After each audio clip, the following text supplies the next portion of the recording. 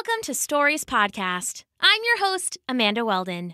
Today's story is called The Giant's Daughter, an adaptation of a Brazilian folktale written for you by Daniel Hinds. Thanks. Enjoy the episode. The Giant's Daughter. Once upon a time, nearby to the lands of normal sized folks, there was a kingdom of giants. It was ruled by a mighty king, nearly a mile tall, and his subjects were all almost as big. When they walked, the ground shook. When they laughed, the mountains quaked, and when they cried, it was an endless, brutal wind that swept over the land. Unfortunately, the princess had been crying for weeks. You see, she had dropped her favorite cookie, itself bigger than any normal person, into the great river that ran through the giant's kingdom. It dissolved in the rushing water and was swept away before she could grab it back again. She was left with nothing not a bite, not a crumb. She cried for another cookie, but it had been the last in the kingdom, so she just kept on crying. She cried all day so loud that the giants could barely go about their business. She cried all night so loud that all the giants jammed cotton in their ears just to sleep. She cried during breakfast and sobbed during lunch and wailed at dinner. On and on it went until all the giants thought they might go crazy, and the king was forced to take drastic action. Enough is enough! he boomed, so loud his voice rolled out far and wide like a thunderstorm, heard by the giants and humans alike. If anyone can make my daughter smile again, they shall have a pot of gold the size of my fist.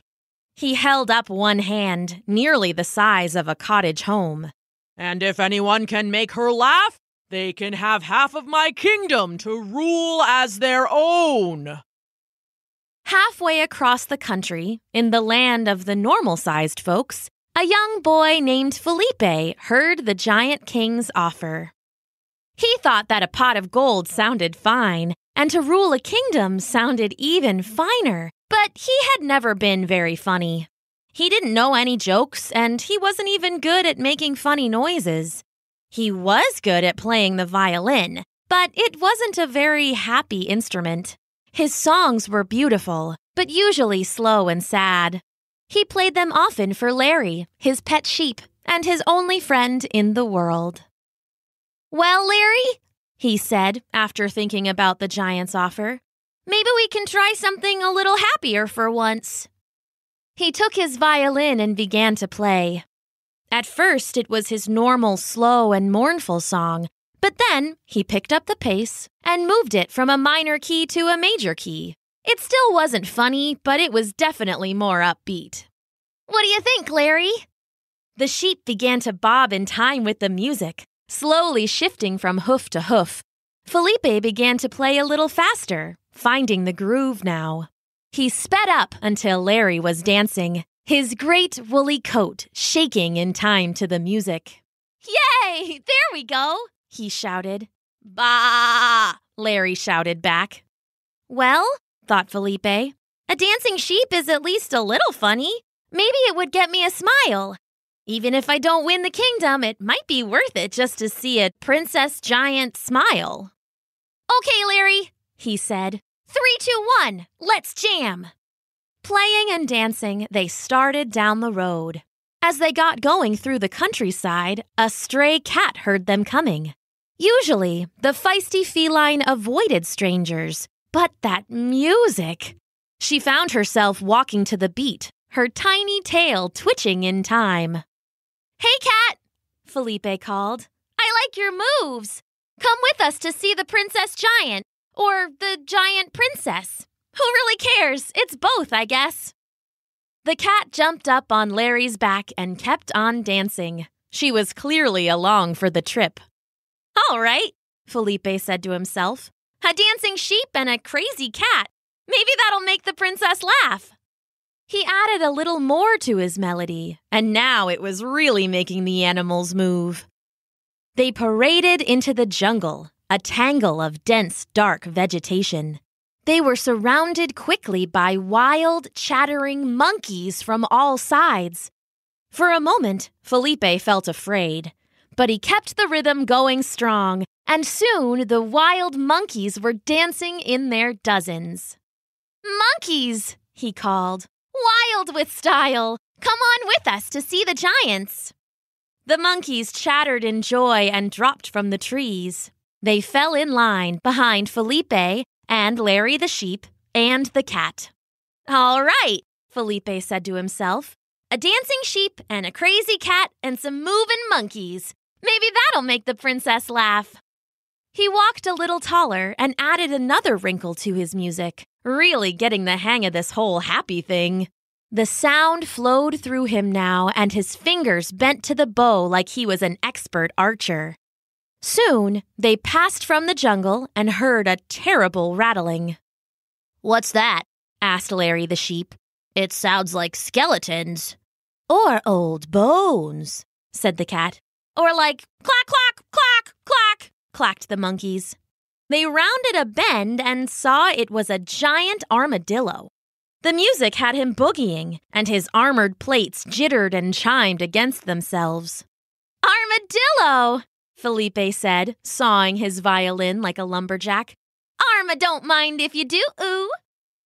The armadillo joined the line behind Felipe and Larry the sheep and the cat and the monkeys. Okay, Felipe said to himself. A dancing sheep and a crazy cat and some moving monkeys and a brattling, rattling armadillo.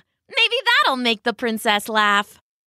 He started to strut a little, feeling the melody move him. The animals started to stomp out a beat, and Felipe flexed the music to match. It was getting funkier by the minute, and none of them seemed much to mind. Soon, they passed a herd of darting deer, being tracked by a pack of tawny tigers. The predators and prey both stopped their foot chaining and started grooving when they heard Felipe's playing. Deer and tigers, he said. War's a bore! Quit the fighting and come with us to the land of the giants. They danced right on over, side by side, no one trying to eat anyone else, not even a nibble. Okay, Felipe said to himself. A dancing sheep, and a crazy cat, and some moving monkeys, and a brattling, rattling armadillo, and some darting deer and tawny tigers. Maybe that'll make the princess laugh. It was pretty funny, but could he do even better? He looked at the countryside before him, animals at every turn, and he smiled. He would keep the party rolling, and he'd win that kingdom. Meanwhile, back in the land of the giants, the king was getting bored. His generous offer had drawn out all the giant jesters and the colossal clowns, and even the copious comedians. They threw pies and tumbled and farted and fell and did every trick they knew. The princess watched it all and didn't so much as smile, not even a lip twitch. She just kept on crying. Out, the lot of you! The king cried, slamming his heavy hand on the table. This is the best you can do? Doesn't a one of you have something halfway funny to say? Hey, uh, I have a joke, said one of the comedians. Fine, let's hear it. Where do you find a giant snail? A snail? I don't know. Where? You find a giant snail at the end of their giant finger. All right. the princess started to cry even harder. Guards, remove this man. The guards dragged him away. Suddenly, from outside, there was a noise. No, not just a noise, a song. And not just a song, but a funky song that made a few of the giants start tapping their massive toes. Tap, tap, tap, echoing through the land like boom, boom, boom.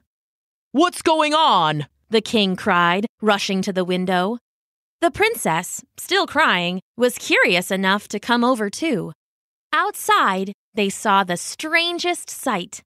It was Felipe, sawing so violent on his violin it looked like it might burst into flames. Behind him was a mad menagerie, a zany zoo, a wild wumpus of animals. Felipe was followed by Larry the sheep, a crazy cat and some moving monkeys, a brattling, rattling armadillo, and some darting deer and tawny tigers like before, but he'd added some snazzy snakes and spinning spiders, some birdie bats and some batty birds, a crocodile with a smile, and a deep inthotamus hippopotamus. And that was just all they could see from the window. There were even more stretching back over the horizon. They all walked by the castle, each one dancing harder than the last. The princess looked on, eyes wide. She was so surprised that, for the first time in weeks, she had stopped her colossal crying. Then, as the king looked on with hopeful eyes, she smiled, a wide, giant smile. And then, wonder of wonders, the princess laughed, and all the land shook with its thunder. Felipe was rewarded with half of the kingdom, just as the giant king promised. All the animals chose to stay and live nearby, and as a thank you for the gift, they'd put on a parade past the castle each and every day. Felipe still played his sad music sometimes, but usually he found it more fun to jam something loud for his friends. And together, they all danced happily ever after. The end.